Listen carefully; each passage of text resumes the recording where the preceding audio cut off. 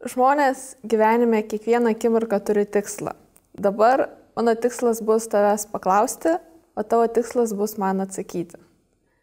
Sveiki visi, šiandien pas mus svečiuose yra Tomas Rinkevičius, krepšinio treneris, kilęs iš Rietavo. Sveikas, Tomai. Kaip tu pasmatai save šiai dienai? Na, įmant šias dienas, e, iš tikrųjų turiu tokią naują patirtį savo gyvenime. Esu gal šeši mėnesiai, jau gal net daugiau negu pusę metų be, e, kaip sakyti, be savo pagrindinės e, profesijos, sakykime, visas mano gyvenimas daugiau mažiau sukosi apie krepšinį, tiek žaidžiant pačiam būnant krepšininku, tiek būnant paskui treneriu. Tai iš tikrųjų turiu naują patirtį ir per visą tą laiką teko daugiau laiko praleisti būnant namuose. Daugiau, sakykime, mačiau savo namų būti, kas, kas darosi, ko anksčiau buvo daug sunkiau, ką anksčiau buvo daug, daug sunkiau padaryti. Tai, tai iš tikrųjų nauja, nauja patirtis, kuri yra įdomi, aišku, būti daugiau su savo vaikais, tuo labiau tokiu laikotarpiu kaip dabar, kai turėjom ir karantiną, ir, ir visokių tokių pasikeitimų, ne tik Lietuvoje, bet ir jau, sakykime, globaliaja prasme. Tai iš tikrųjų įdomi patirtis. Nu, Tomai, nuo ko prasideda krepšinio ataka? Na, krepšinio ataka visada prasideda tikriausiai nuo geros gynybos. Norint, norint e, gerai ir greitai užpulti, e, pelnyti taškus, tai visada reikia turėti gerą gynybą. Ne? Apsigynęs, tada gali, gali organizuoti savo ataką polime. Kiek urtė trunka krepšinio ataka ilgiausia? 20 sekundžių? Beveik 24. 24. Ar jautiesi aristokratu, ar nori gauti žmonių pripažinimą? Na, kiekvienas, kiekvienas tikriausiai dirbdamas žmogus savo, savo darbą, tikriausiai, kai jam sekasi ar gerai atlieka savo darbą, būna labai gerai, kai, kai jis būna įvertintas, ne? Tai, tai taip, kai, kai sekasi, sekasi kažkur tai darbe, kai tave vertina, tai yra smagu. Kiek kurti krepšinį yra kelinių? Keturi. Kokius klausimus tau užduoda dažniausiai? Na, tikriausiai dažniausiai užduodami klausimai yra, sakykime, apie, apie rungtynės, ypatingai kai, kai gale rungtynių, jos pergalingos ar pralaimėtos, tai dažniausiai klausia tų priežasčių, kas lėmė vienokį ar kitokį rezultatą. Ar nesigaili, kad iš vis atėjai krepšinį, kad pradėjai šį kelią? Na, ne, tikrai, žiūrint atgal, negalėčiau sakyti, kad, kad pasirinkau neteisingą kelią. Tikrai džiaugiuosi tas, kas įvyko mano, mano gyvenime, įmant mano profesinę pusę. Tai nuo pat mažens tikrai buvau visas sportė, vienokiam ar kitokiam, profesionaliam sportė nuėjau krepšinio keliu, tai e, tikrai negaliu, negaliu skūstis.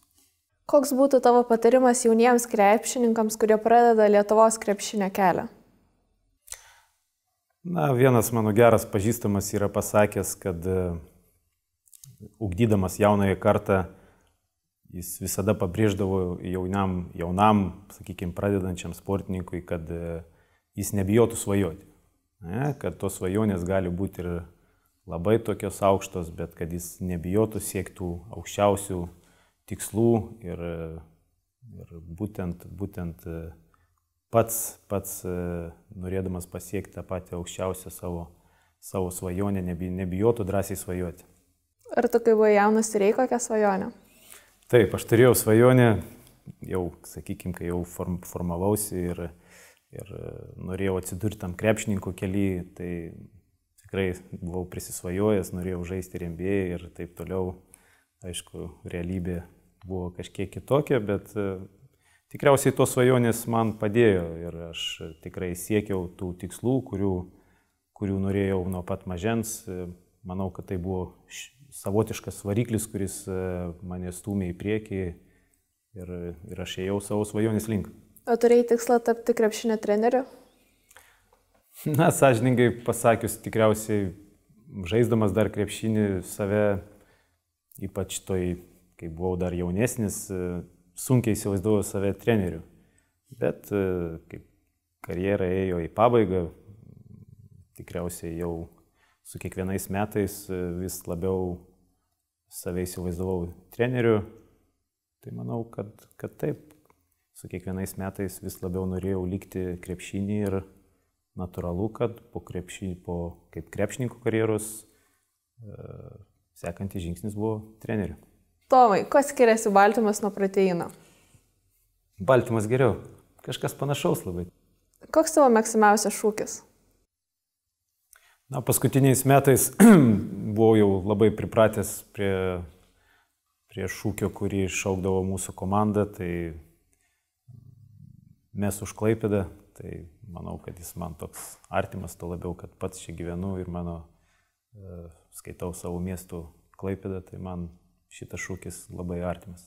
O daug krepšininkų žaidžiančių Neptūnė yra iš klaipėdas. Na įvairiai, per, vis, per visus tos sezonus e, jų kažkiek tai sviravo, daugiau, mažiau, bet e, Klaipėda iš tikrųjų unikalus e, miestas, unikali komanda, ta prasme, kad tikrai turi daug savo, savo miesto krepšininkų ir ta linija daugelį metų buvo palaikoma. Tai padarom tą šūkę. Mes už Klaipėdą. Klaipėdą. Tavo tėvai nebuvo profesionalų sportininkai, pats augai šešių vaikų šeimoje, buvai penktas vaikas, mokėsi gerai, labiau buvai prie tiksliųjų mokslų. Na, augau tikrai didelioje šeimoje, buvom šeši vaikai, e, neteko nubudžiauti. Tai dabar ir pats, sakykime, turiu gana gausią šeimą, e, trys vaikai pas mane, tai tikriausiai gal, gal tą atsinešiau iš, iš vaikystės tikrai turiu kuo džiaugtis. Lankydamas e, mokyklą tikrai buvau aktyvus vaikas ir e, vienu metu teko, teko lankyti daug burelių, aišku, viskas daug buvo paprasčiau, augau nedideliam miestelį Rietavė, tai, sakykime, kur viską gali pieškom pėstute pasiekti 10 minučių bėgėje, tai, tai tiek, sakykime, ta užklasinė veikla nuo vieno burelio perinant prie kito burelio buvo daug paprastesnė negu, kad ir įmant dabar mano vaikams e, Klaipėdoje, kai atstumai yra daug didesni ir pasiekti kažkokį tai burelį ar pervažiuoti iš vieno burelio ir į kitą sudaro daug, daug e, didesnių kliučių, tai, tai tuo aš galiu pasidžiaugti, kad, kad galėjau lankyti įvairių sporto šakų, užsiemimų, buvau labai imlus vaikas. Na, aišku, jeigu grįžtant prie šio laikinių technologijų ir tendencijų vaikų, e, sakykime, amžių ir vaikų laisvalaikio užimtumo, tai yra skirtingi, skirtingi dalykai, ką mes tada turėjom ir ką vaikai šiai dienai gali turėti. Tai Manau, kad tai irgi takoja labai vaikų susidomėjimą kažkokiais kitais dalykais, nes tos technologijos e, iš tikrųjų iš vaikų atima nemažai laiko. Gal taip turi, turi būti, tai natūralu, e, bet sakau, mes, mes vaikystėje turėjom kitokių pomėgių ir daug pomėgių, daug laiko praleisdavom laukia, Tai man dabar kartais yra sunku suprasti, kaip vaikai gerų orų užsidarę sėdi namuose ir bendrauja, sakykime, per telefonus ar kompiuterius tarpusavį. Bet dabar tokie laikai, matyti, taip turi būti.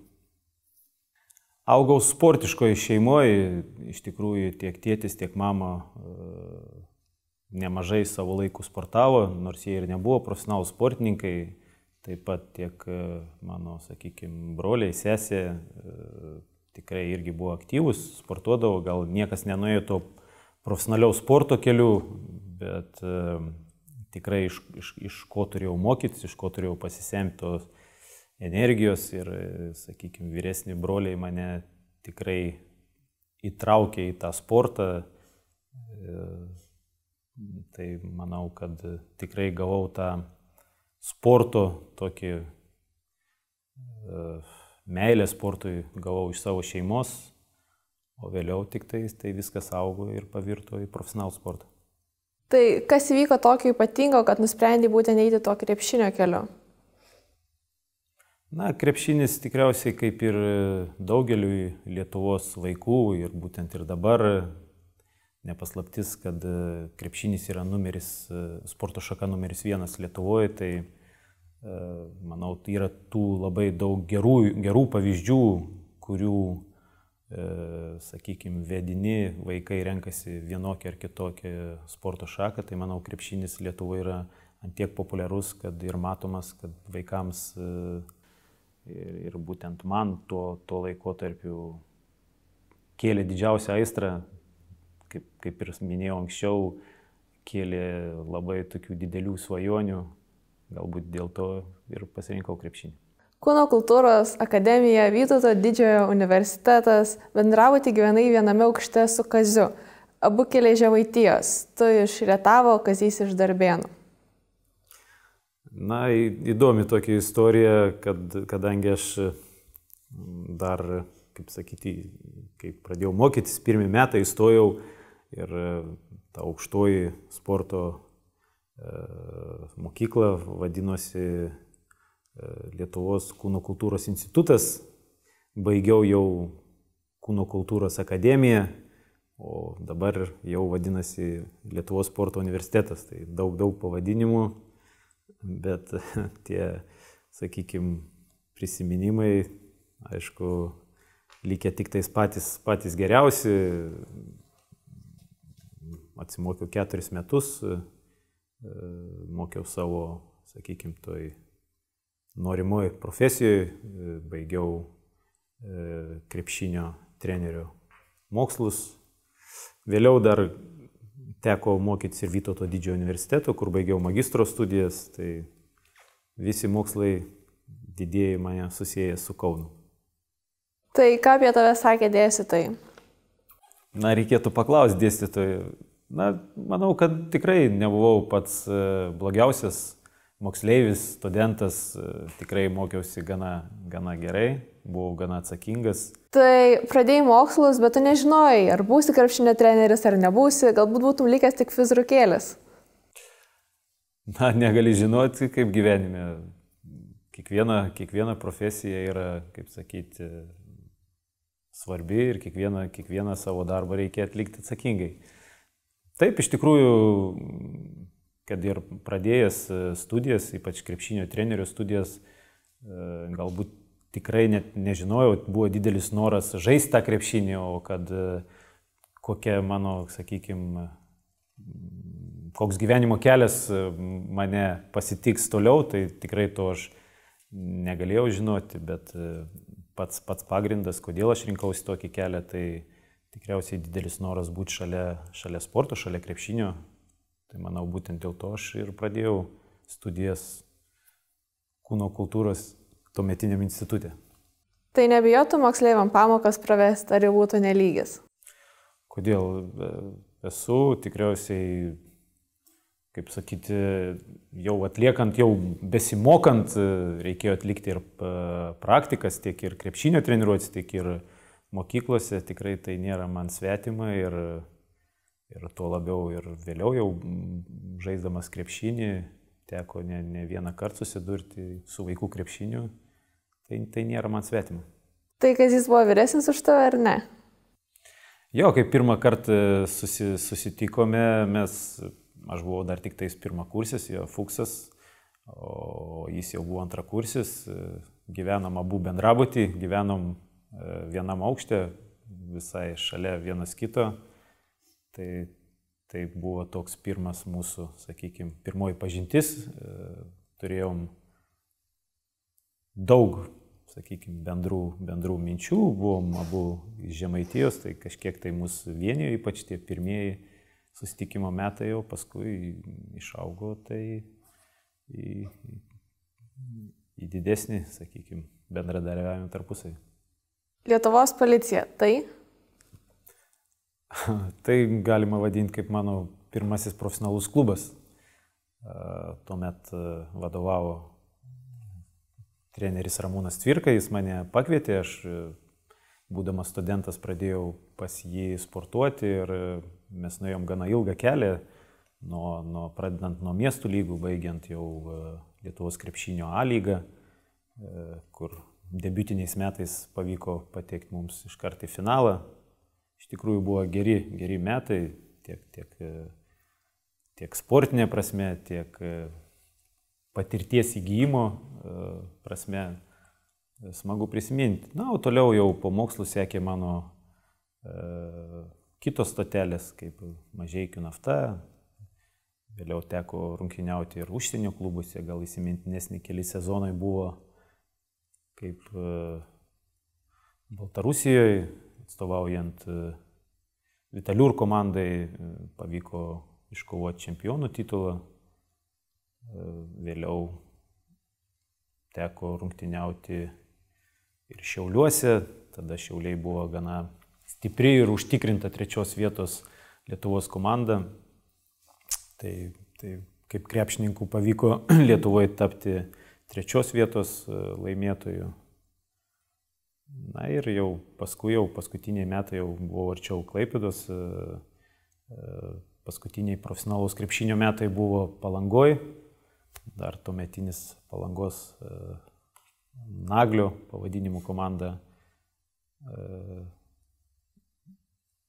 žaidė Lietuvos krepšinio lygoje. Na ir jau po šitų metų prasidėjo mano trenerių karjera. Tai kai žaidėjai už policiją ir jautėsi širdėjo policininkas, ar norėjai kam nors baudą išrašyti?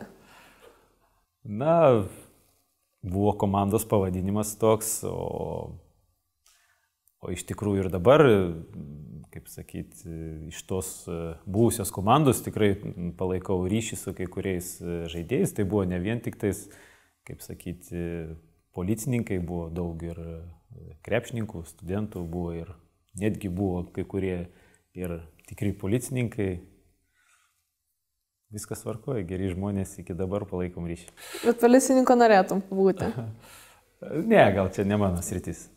Tai gerai, tai dabar Tomai, paaiškink šio laikiškai, ne akademiškai, koks yra dabartinis krepšinio treneris, kokios jo savybės, kokia psichologija?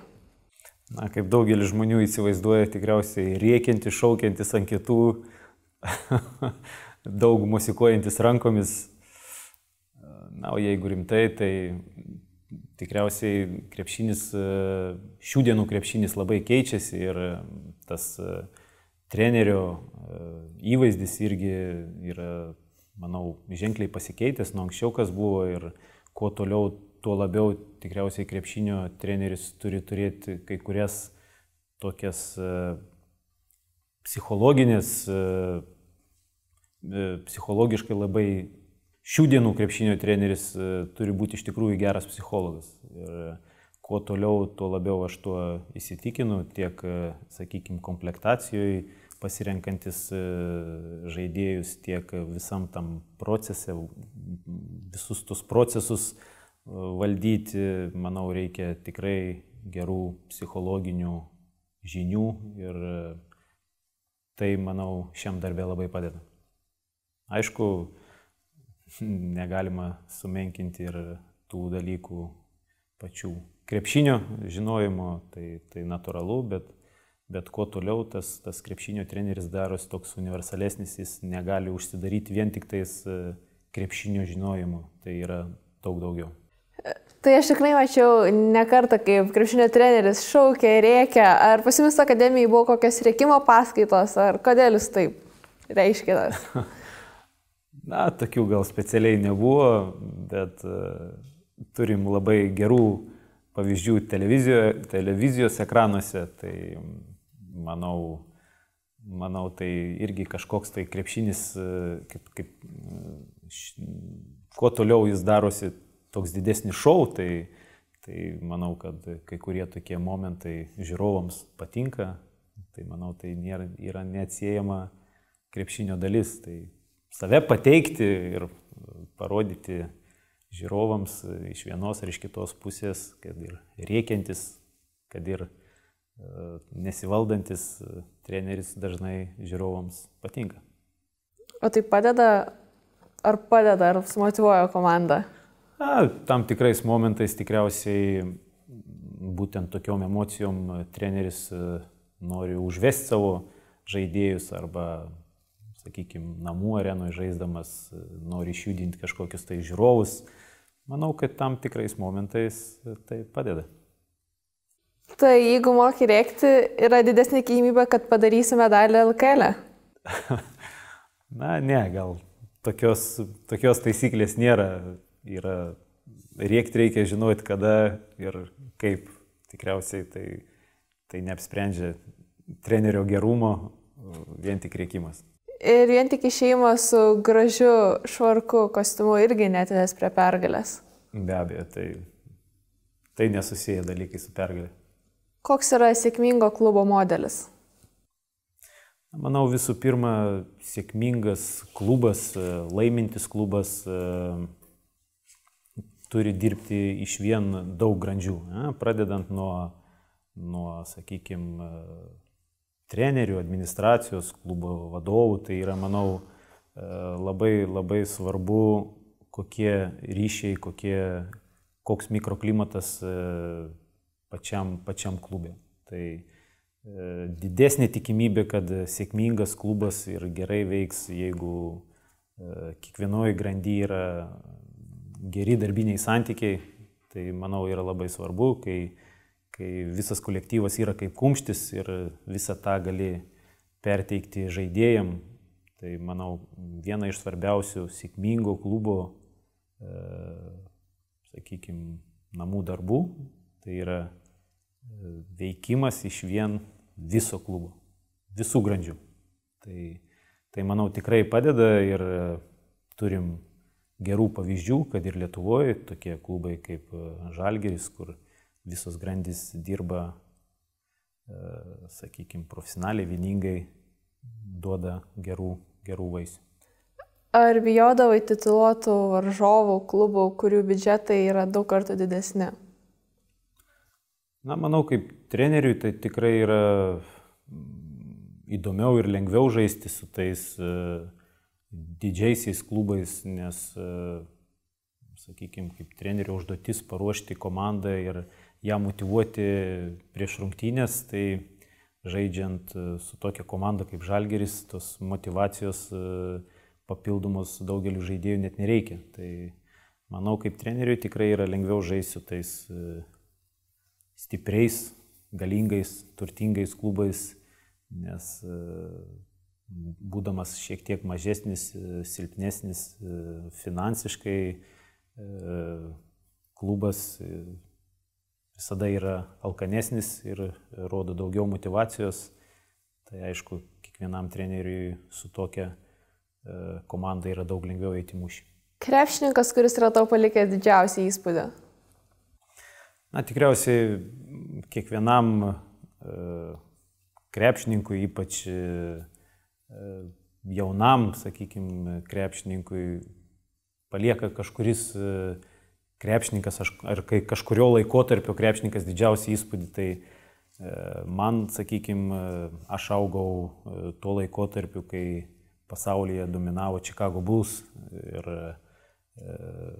vedlys į tas pergalės buvo Michaelas Jordanas, tai atsimenu, tokių technologijų neturėdavom kaip dabar, bet e, galėdavai naktį atsikėlęs žiūrėti NBA finalus, kai, kai Chicago Bulls žaidė su Utah Jazz, tai labai labai gerai atsimenu tas kovas e, na, ir tikrai dideliom išsiplėtusiom akim žiūrėdavom į tuos atletus, kurie žaidė tą krepšinį, kūrė tą visą tą tokią gerąją krepšinio istoriją.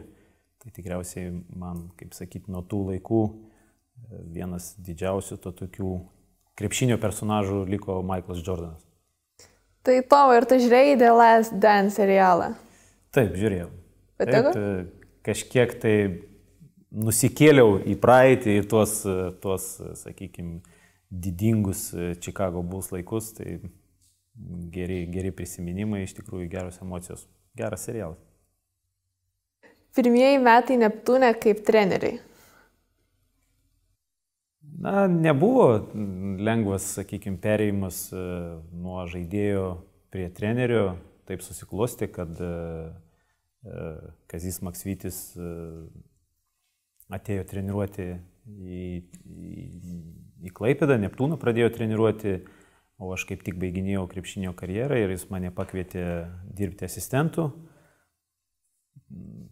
Aišku, tai Tai buvo toks, kaip sakyti, naujas, naujas išbandymas mano kelyje ir kiek atsimenu, tie pirmieji, pirmieji metai tikrai daug ką pakeitė mano požiūrį į krepšinį. Tai yra du skirtingi dalykai - būti krepšininku ir būti treneriu. Tai tokia buvo nauja patirtis, gana įdomi patirtis, kuri, sakykime, laikui bėgant mane įtraukė vis labiau ir labiau E, formavo, formavo kaip e, tą požiūrį į visą tą e, krepšinį. Manau, kad taip, per tuos metus pasikeitė visas požiūris į krepšinį, nes, nes tai yra skirtingas darbas - būti treneriu ir būti krepšininku. Tai yra du skirtingi dalykai. Neptūnas Lietuvos krepšinio lygoje ir Neptūnas tarptautinėse turnyruose. Na, man pradėjus dirbti treneriu, tikrai turėjom įdomius sezonus, e, komanda labai sparčiai progresavo. E, jeigu mes pirmais metais, e, berods 12-13 metų sezone dalyvavom ir VTB lygoje, ir, ir Lietuvos krepšinio lygoje, ir, ir FIBA organizuojam čempionate, tai, tai turėjom labai didelį krūvį, bet tai iš, iš tikrųjų komandai davė neįkainojamas patirties, žaidėjai galėjo tobulėti, galėjo varžytis e, su tuomet, tuomet sakykime, pačiu geriausiu e, e, lygių krepšinėje susidurti. Tai tikrai davė tiek mum kaip treneriams neįkainojamas patirties, tiek žaidėjim. Na, o sezonai buvo tikrai sėkmingi, metai po metų mes visi ėjom aukštyn ir jau po dviejų metų išsikovojom galimybę žaisti Eurolygoje. Tai Tomai, ar patikimas į Eurolygą buvo svarbu?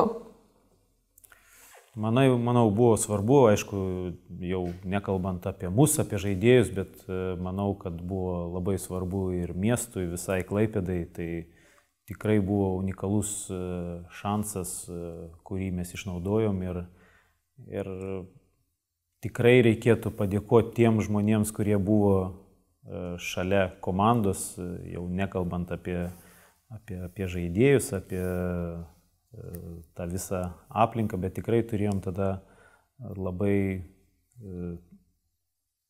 gerų žmonių aplink, aplink klubą, kurie vieningai suvienijo ir savo finansus, ir, ir buvo eilė, eilė žmonių, kurie padėjo klubui debituoti tokį istorinį sezoną, kai Klaipėda galėjo priimti pačias geriausias europinės komandas e, savo mieste. E, aišku, neapsakomas jausmas buvo žaisti tokiuose, e, tokiu, dalyvauti tokiuose rungtynėse, kai, kai buvo pilnas,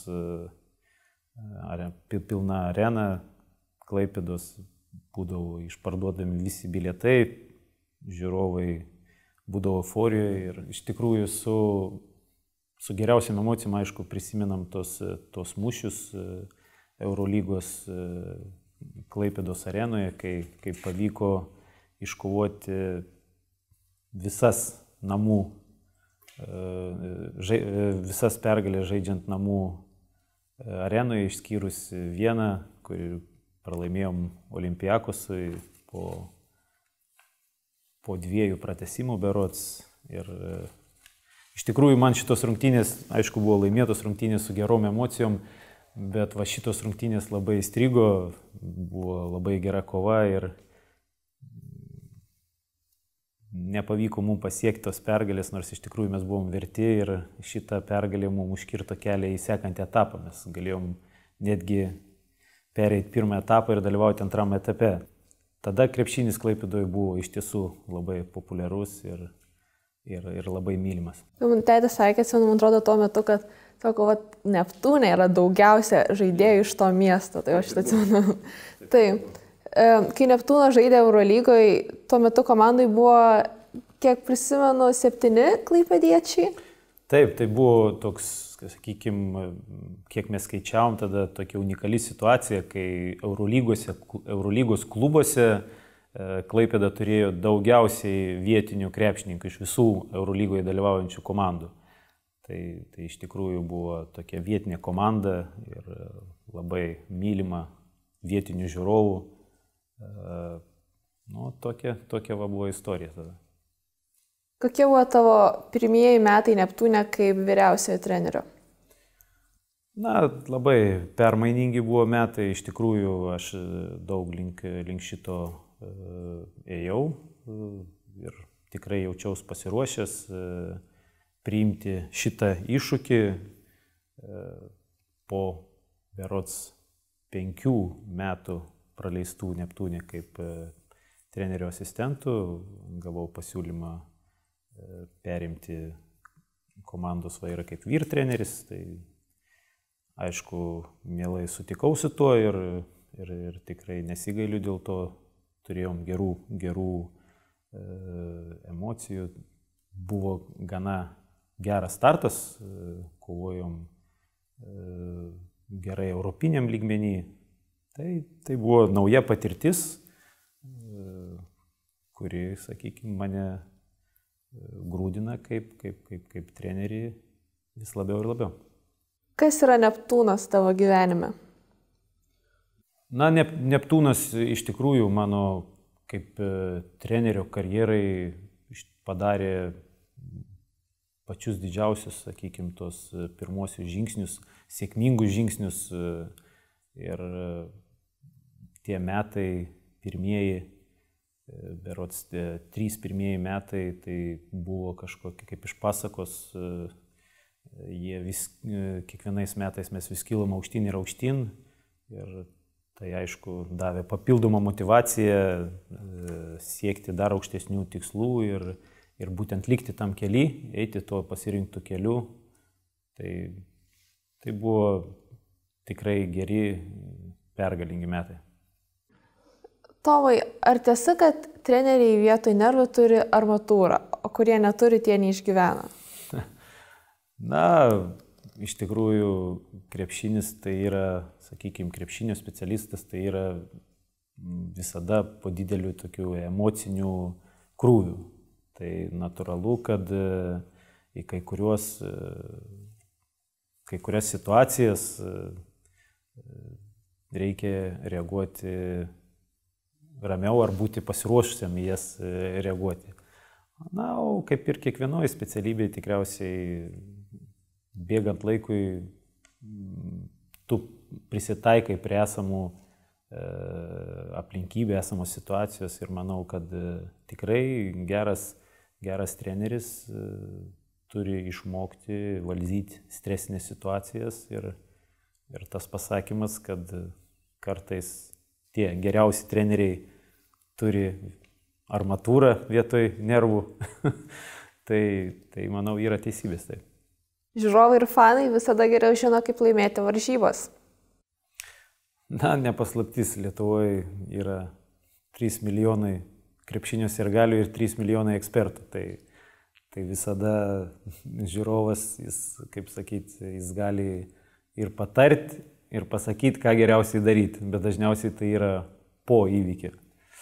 Na, bet e, tuo reikėtų tikriausiai pasidžiaugti, kad e, Lietuva turi tuos 3 milijonus ekspertų, todėl krepšinis Lietuvoje toks ir populiarus, kad kiekvienam yra svarbus ir kiekvienas e, diskutuoja tą temą.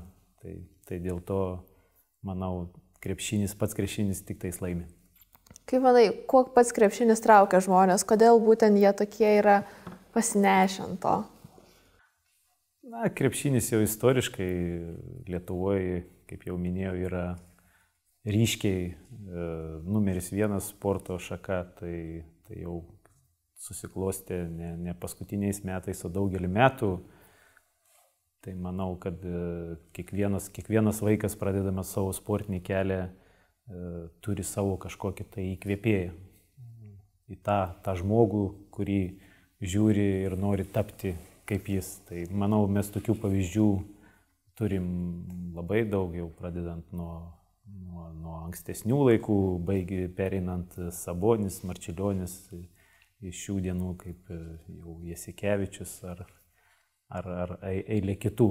Tai, tai manau, šitie žmonės diktuoja krepšinio madas ir, ir, ir tie vaikai, rinkdamasi savo sportinį kelią, dažnai nulėmė tie faktoriai, kad mes turim labai daug garsių, e, žymių e, krepšininkų, o ne kitų sporto šakų atstovų. Tomai, iš šokėjų palaikymo komandos, ar jūs treneriai bent spėjat pamatyti, kas vyksta, ar jūs žinot, kas būna per tas pertraukėlės? Na, iš tikrųjų, būnant e, treneriu, aš matau viskas, e, kas darosi prieš rungtynės. Galiu matyti žmonės, galiu, galiu matyti besirenkančius ir galius, o kai jau prasideda rungtynės, e, tai aš jau nebematydavau nieko. Tai matai tik tais e, krepšinį ir, ir visom mintim pasineri rungtynės. Tai vat, dabar žiūrėdamas televizijos ekranus daug ką matau, ko nematydavau anksčiau. Ar tu bent žinai, kaip vadinasi mūsų klaipėdo šokėjų palaikymo komanda? Taip, žinau, Leader Dance šokėjos, kurios taip kaip, sakykime, savo srity yra vienos vedančios visoje Lietuvoje. Tai mes to irgi galime pasidžiaugti ir pasididžiuoti. Kas yra tas skautingas prieš varžybas? Gal galima kaip kažkaip be jo? Na, manau, šio laikiniam krepšinį jau be jo negalima. Tai, sakykime, be an analizės savo varžovų, savo paties žaidimo, uh, turint dabar tokių galimybių ir technologijų, apseiti ne, negalima, o manau, jas reikia naudoti ir, ir būtina uh, siekiant uh, gerinti tiek savo žaidimą, tiek varžovų analizę, gilin, gilinantis ir, ir stengiantis sustabdyti jų, sakykime, tas stipresias pusės. E, man pačiam teko su tuo nemažai dirbti, ypač pradedant, pradedant e, savo karjerą kaip trenerio, kaip trenerio asistentų. Tai, tai iš tikrųjų buvo kažkas naujo, labai įdomus, kuris įdomi veikla, kuri labai įtraukė ir, ir tu, kaip, kaip sakyti, ir vis gilin, gilin į tą nerį Tai, tai buvo iš tikrųjų įdomi patirtis ir, ir labai daug pats naujo sužinojau būtent e, per, per, per tą krepšinio situacijų analizę. Manau, kad tai yra didelis šio laikinių technologijų laimėjimas, kai, kai rungtynės gali išrinkti ar, ar visa, po, po mažas dalelytės, ar, ar krepšininkos savybės ir pateikti savo komandų žaidėjų apie būtent informaciją apie priešininką. Tai manau yra labai svarbu ir, ir kurios komandos tai įsisavina geriau, turi didelį pranašumą rungtynių metu. Po varžybų treneriai savo komentarus. Tai ką sakyt, kad nenusišnekėti? Tarp trenerių ir tokia nerašyta taisyklė, kuo mažiau šnekėsi, tuo mažiau nusišnekėsi. Na, o jeigu rimtai, taip, aišku, priklausomai nuo rungtynių baigties yra tų gerų emocijų, blogų emocijų ir, ir aišku, žurnalistai kiekvienoje situacijoje bando išgauti kažkokį didesnį ažiotažą, užklausdami tokius provokuojančius klausimus. Treneriai turi rasti tą patį geriausią kelią išsisukti iš tų situacijų, kažką pasakant, kažko nedasakant, kažką pakritikuojant, kažką nekritikuojant. Tarp kitko, yra tam tikros taisyklės, kurios e, e, neleidžia treneriui, e, neleidžia treneriui viską komentuoti. Tai yra ir teisėjų darbas, pati lyga nustato tam tikras taisyklės. Tai šitų taisyklių reikia laikytis. Dabar įsivaizduoju, kad aš esu žurnalistė. Treneri, jūsų komanda šį kartą pralaimėjo. Ar prisimate atsakomybę? Na, natūralu, kad treneris po e, kiekvieno pralaimėjimo turi prisimti atsakomybę. bet aš esu šalininkas, kad, kaip sakyti, pralaimi ir laimi visa organizacija. Vat, jeigu pralaimėjai, tai pralaimėjo tiek treneris, tiek žaidėjai, tiek rėmėjai, visi pralaimėjo. O jeigu laimėjo, tai taip pat visi dalinasi, sakykime, tais laimėjimu. Tai manau, kad vieno žmogaus pralaimėjimų nebūna, manau, pralaimi visi. Taip pat kaip ir laimi visi. Komplimentas LKL teisėjam.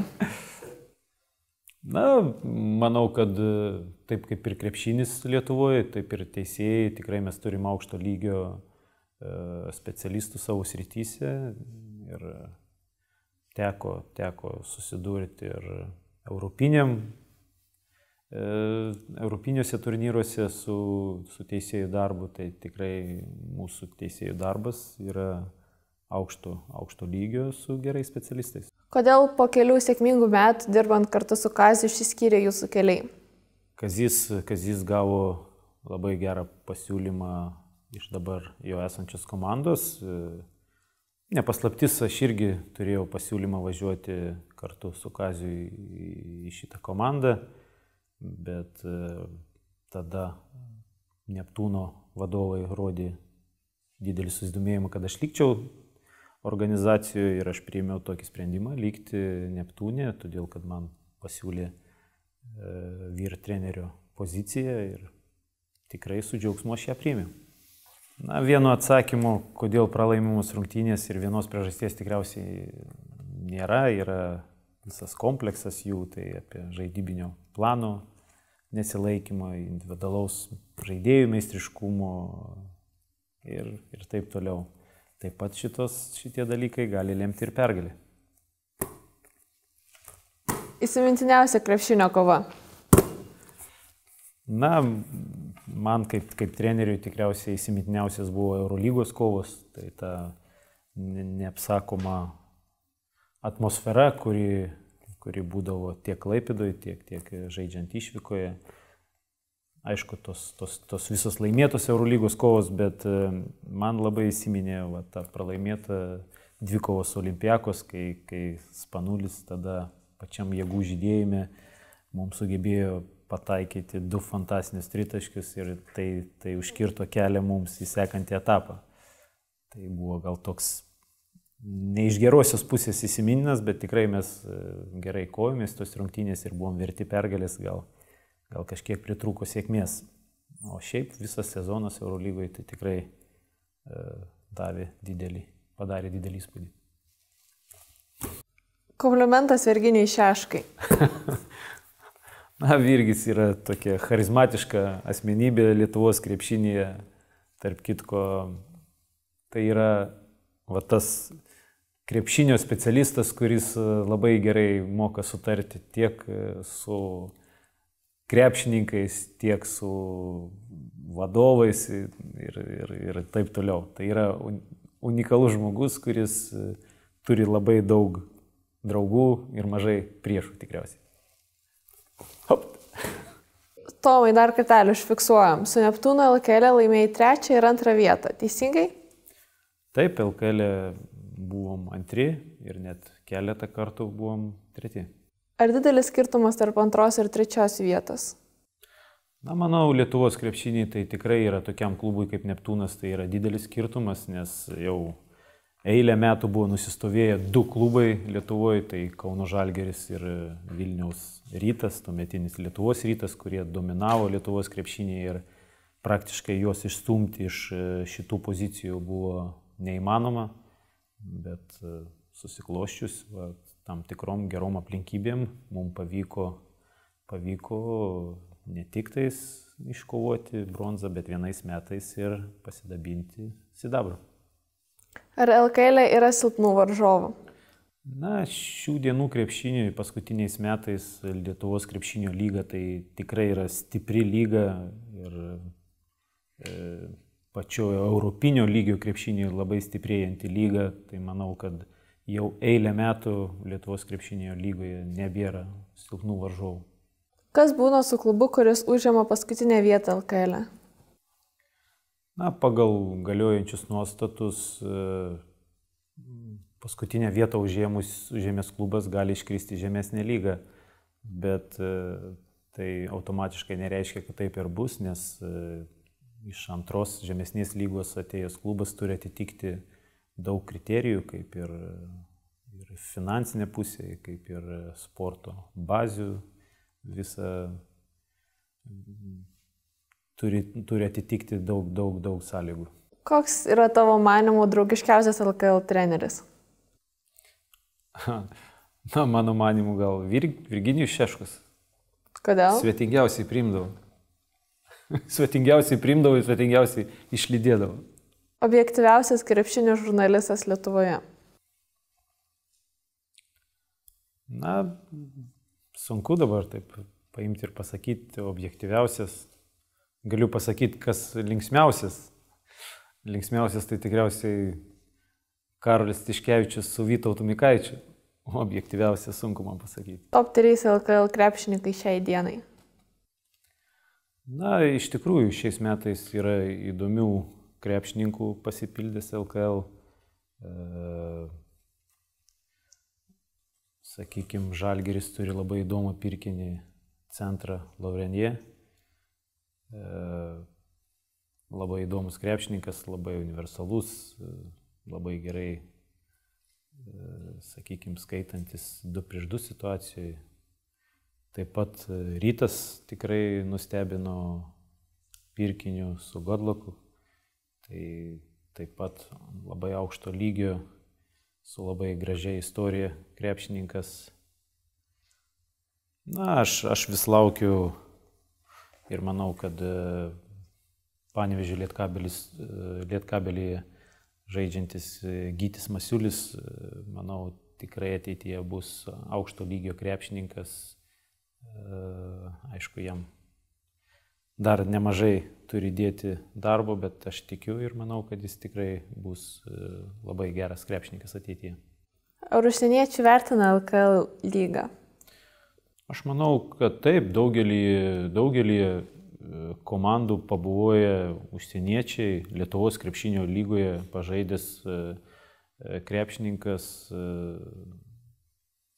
e, kelias ir labai turtingus klubus, tai yra daug pavyzdžių ir, ir gaunasi ta tokia patrauklus, patrauklus, patraukli Lietuvos krepšinio lyga būtent tiem užsieniečiams, jauniems krepšininkams, kurie gali daryti e, trampliną į savo, savo sakykime, karjerai būtent per Lietuvos krepšinio lygą. Tai ne vienas pavyzdys ir manau, kad tiek žaidybinė prasme jie gauna gerą patirtį žaisdami Lietuvos krepšinio lygoje ir gerą startą į savo, savo sakykime, savo ateitį. Ką galvoja apie lietuvius žaidžiančius NBA lygai? Na, jų neturime daug, bet e, manau, kad tikrai yra mūsų rinktinės vedliai, galima išskirti ir Joną Valančiūną, ir, ir Sabonį. Tai, tai yra mūsų, mūsų rinktinės, e, sakykime, dabarties ir ateities krepšininkai, kurie aplink kuriuos e, sukasi daug žaidimo mūsų, mūsų nacionalinės rinktinės. Tai Tomai dabar trumpai, Šarūnas Jasikevičius. Na, tai charizmatiška asmenybė, geras, geras treneris. Daumantas Sabonis. Labai geras krepšininkas, Lietuvos rinktinės ateitis. Ar geriau žaidžia už savo tėtą? Na, abu labai aukšto lygio krepšininkai, aišku, sunku dabar šiai dienai dar lyginti, nes Tėtis jau senai baigęs karjerą, žaidęs krepšinį eilę metų atgal, o Domantas dar vis, vis kylantis, tai gal juos galėsim palyginti kažkuria laikotarpiu praėjusi. Jonas Valančiūnas. Taip pat labai aukšto lygio krepšininkas. Taip pat Lietuvos rinktinės vienas iš didžiausių ramščių. Kokia yra krepšinio filosofija? Tai sakyčiau, labai greita matematika ir su dideliom emocijom. Tai kokia patogiausia rūminė Lietuvos arenose? Klaipėdai. Bet kad į labai mažai, jūs ten netaupat. Bet sava. Esi trijų vaikų tėvas. Pirmas vaikas gimė Austrijoje, o kiti Klaipėdoje. Taip, tuo metu, kai gimė mano vyriausias sunus, žaidžiau Austrijoje ir taip, taip susiklosti, kad taip jis gimė, jis gimė Austrijoje. Tai buvo mano pirmas sezonas, kai žaidžiau ne Lietuvoje, Na, o, o paskui keliai, keliai pakrypo, pakrypo į Klaipėdą ir jau, jau, jau gyvenau Klaipėdą. Ar tavo vaikai seka tavo keliu ir jie pasirinkė tą sporto kelią? Na, galiu pasidžiaugti, mano vaikai tikrai yra sportiški ir kiekvien, kiekvienas vaikas turi savo sporto užsiemimus. Vyriausias sunus žaidžia futbolą, E, mano vidurinis sunus e, žaidžia krepšinį, o jauniausiai dukra lanko gimnastiką ir galiu pasidžiaugti, kad tikrai visiems neblogai sekasi. Prie vaikų sugrįžtant, vaikai, pandemija, online mokslas. Jo, iš tikrųjų tas laikotarpis dabar toks yra įdomus ir vat, e, visa ta situacija su, su, su pandemija, tai Tai tikrai turėjau naujų patirčių ir namai buvo pavirtę tiek online pratybomis, po pratybų sekdavo online treniruotės, tai, tai buvo nuo, nuo mokyklos namai virsdavo treniruočių sale ir taip tęsdavosi visą dieną. Tai iš tikrųjų įdomiai buvo pačiam šalia, iš, šalia būnant visą tą stebėti procesą. Tai gera patirtis ir įdomus prisiminimas. Ar šiuo metu esi užsibrėžęs kažkokį tikslą? Na, tikslas, aišku, paprastas, profesiniai srity, skiriu daug dėmesio krepšinio varžybų žiūrėjimui, analizai, dabar turiu laiko, tai iš tikrųjų žiūriu labai daug krepšinio varžybų, tiek, tiek Lietuvos, tiek nesiniai pasibaigusių NBA e, finalų serijas teko žiūrėti, tai, tai iš tikrųjų e, stengiuosi būti šalia krepšinėje, semtis daugiau žinių. Kodėl netarnavai kariuomenėje? Kariuomeniai neteko tarnauti, būtent tada, kai mokiausi aukštojo mokykloje, mus kaip ir atleisdavo nuo tos prievalės. Tai taip jau gavosi, kad po, po studijų sekė aktyvus sportas, tai teko praleisti, bet manau, kad buvom tikrai fiziškai pasiruošę neblogiau. O savo sūnus net kalbėsi nuo kariuomenės? Net tokios kalbos nebuvo, nežinau, kiekvienas tikriausiai renkasi savo kelią ir jeigu jie matys prasme tame, tai kodėlgi ne. Žinau tikrai, Tomai, kad tu nerukai. Kodėl? Taip, taip jau yra ir neturiu, neturiu ko liūdėti dėl to. Šiaip, šiaip kaip, kaip sportininkas laikiausi, sakykime, tų, tų tokio sveiko, sveikos gyvensenos ir, ir dabar tą stengiuosi laikytis ir, ir raginu taip daryti savo vaikus. O tai turiuočių kodėl neturi? Neturiu, net, net nesu pagalvojęs apie tai, nežinau. Ką mėgsti veikti laisvalaikiu? Na, iš tikrųjų mėgstu aktyvų laisvalaikį, iš tikrųjų tikrai laisvų laikų niekur nepabėgu ir nuo to pačio krepšinio. Mėgstu e, sportuoti, paskutiniu laiku vis daug dažniau žaidžiu ir e, vasarom pležo tinklinį, taip pat mėgstu ir stalo tenisą, ypač anksčiau gan dažnai žaisdavau ir šachmatais, dabar gal kažkiek tai rečiau, bet e, įvairų aktyvų laisvalaikį mėgstu. Paminėjai šachmatus, Tomai, tai gal nori sužaisti, nebijosi? Nebijosiu. Tomai, nubraižyk pergalingą derinį. Na, kiekvienas e, treneris tikriausiai renkasi derinius pagal, pagal savo žaidėjų individualias savybės, pagal e, svarbą, pagal rungtynių momentą, bet e, visada svarbiausia, kad kiekvienas derinys baigtųsi taiklių metimų į krepšį.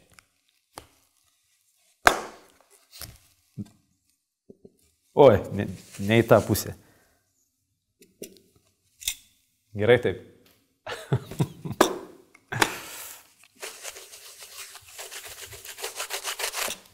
Kaip manai, ar būna tikra meilė be skausmo? Na, čia tokia filosofinis klausimas, nelabai, nelabai aš moku ir mėgstu kalbėti tokiom temom, bet manau, kad gyvenimas tikrai E, yra įdomus ir jis tuo pačiu ir nėra paprastas, tai gyvenimą nugyventi vieną liniją yra labai sunku. Tai manau, tas gyvenimas yra dažnai besikeičiantis ir mes tame gyvenime taip pat e, turime jį prisitaikyti prie jo ir, ir prisijaukinti prie savęs. Šis interviu jau kaip ir pasibaigė, bet primenu, kad jūsų laukia dar šachmatų partija su Tomu kartai žmonės tavo gyvenime atsiranda ne dėl to, kad tau jie reikalingi, kartais tu jiems reikalingas. Sėkmės. Sveiki. Sveiki. Aš Maša. Tomas. Aš baltais. Gerai, mergaitė pirmenybė. Nu ką, pradedam? Drąsiai.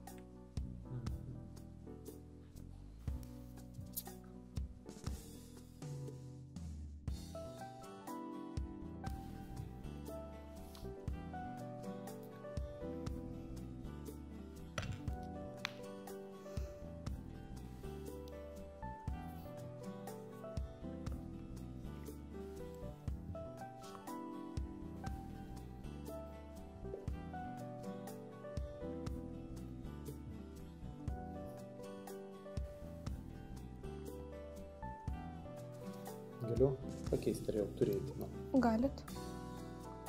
Čiagi draugiška partija. draugiškai, ne, kaip paskui buvo.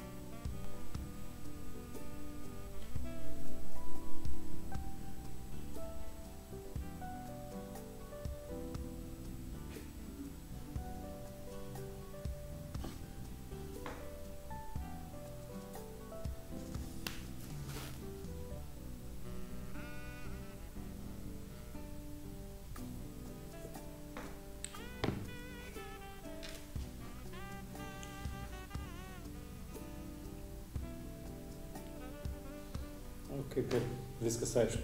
Sveikinu. Per stiprus man buvo varžovas šiandien.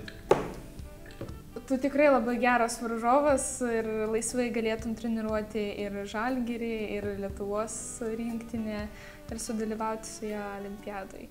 Tai linkiu tau sėkmės. Ačiū, ačiū.